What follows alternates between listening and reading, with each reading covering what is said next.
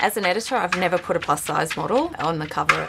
The perfect girls, unfortunately, sell better than the plus size girls. Perfection means thin and trim and blonde and blue eyed and beautiful.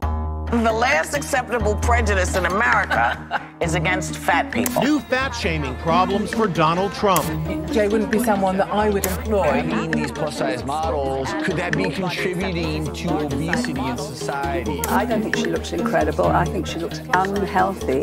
Plus size is simply a euphemism for being fat, and who wants to be fat?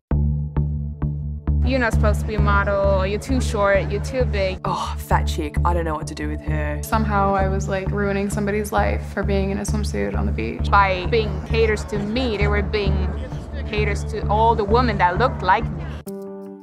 My name is Elly Mayday. I am a plus size model. Hi Elly, my name is Jacqueline Sarka and I'm one of the founders of Jag Models in New York City. They pretty much just offered me the best contract I could have hoped for to go to New York and to do those kind of photo shoots will be beyond my wildest dreams. I think we have no idea what we're going to go to, but I think it's going to be beautiful because we're already so far. I think we're changing the path now with plus size models, labels, media. It's plus size, be proud of it.